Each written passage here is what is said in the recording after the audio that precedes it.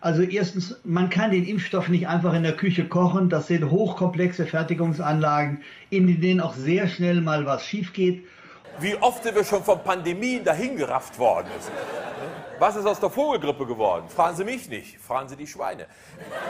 Deswegen haben wir immer wieder das Problem der Lieferausfälle, weil auch einfach schlicht und einfach mal eine ganze Charge in so einer Fabrik äh, nicht verwendet werden kann. So ein Geisteskranker. Äh, äh, glücklich, so ein Geisteskranker. Komm, schaff den weg hier, diese Scheiße hier. Zweitens, äh, es ist natürlich illusionär zu glauben, dass die Länder, die mit hohen Investitionsmitteln und auch gedrängt von ihrer Bevölkerung die Impfstoffe entwickelt und produziert haben, ihre eigene Bevölkerung nicht opfern, äh, nicht impfen, nicht opfern, äh, nicht impfen. Bin ich denn hier der einzige Idiot, dem Regeln noch irgendwas bedeuten? Sondern aus reinem Altruismus andere Bevölkerungen opfern. Das ist einfach nicht realistisch so zu denken.